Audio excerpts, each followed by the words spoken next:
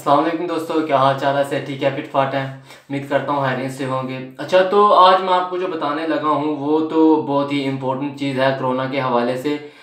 تو جو مین مسئلہ ہے دوستو، آپ کو بتاتا چلوں۔ ہم سب کو تو ویسے بھی یہ موسم چینج کی وجہ سے جو ہوتا رہتا ہے، موسم چینج اس حوالے سے ہم سب کو جو ہے وہ کھانسی، نزلہ، زکام، بخار، تو یہ سب تو نارمل ہی ہوتا رہتا ہے۔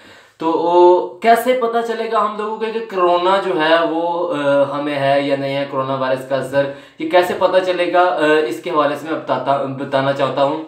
تو اس سے پہلے اگر آپ لوگوں نے میرا چینل سبسکرائب نہیں کیا تو کائنڈلی سبسکرائب کر دیجیے اور بیل آئیکن کو بھی کلک کر دی تاکہ آپ کو میری آنے والی جو ویڈیو ہے نیکسٹ آپ کو مل سکے۔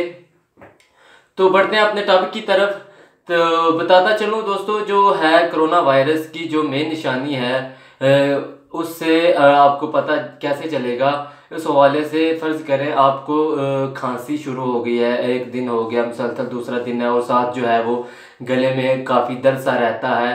تو قطن ہی لاپرواہی مت کیجیے گا، کیونکہ یہ جو کھانسی کے ساتھ گلا خراب تو گلا خراب ہونے کی وجہ سے یہ آپ ڈاکٹر سے فوری رجوع کریں، کیونکہ یہ جو کرونا وائرس کا اثر ہے، یہ چار دن تک آپ کے گلے میں ہی رہتا ہے۔ اور دوسرا، احتیاطاً آپ جو ہے پانی کو ابال کر استعمال کریں، پانی کو گرم کر کر استعمال کریں اور تھوڑا سا اس میں نمک ڈال لیں۔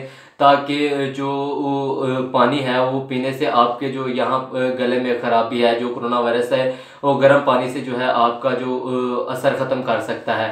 اور ساتھ ہو سکے تو سرکہ بھی استعمال کیجیے، وہ بھی اس کے لیے کافی مفید ہے۔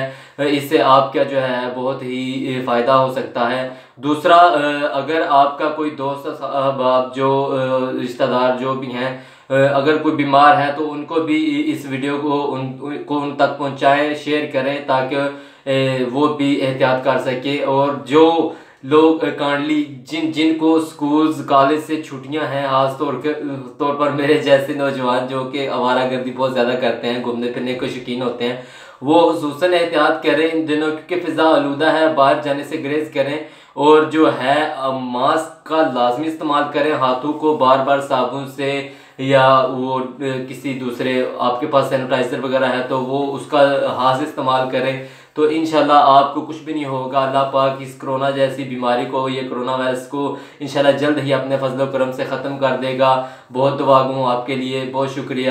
اللہ حافظ۔